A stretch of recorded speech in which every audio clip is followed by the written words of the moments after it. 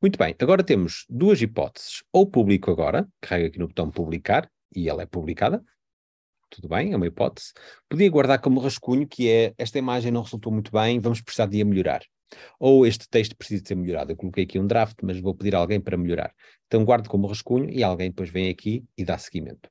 Ou então, vamos aqui ao horário e podemos definir qual é o horário que queremos agendar cada uma delas. No Facebook pode ser dia 14 e no Instagram pode ser dia 15, ou pode ser em, no mesmo dia, eventualmente, em horários diferentes. Então, temos aqui uma opção que são as horas recomendadas, que nos permite mostrar quando é que estas publicações supostamente têm uma melhor hora para publicar.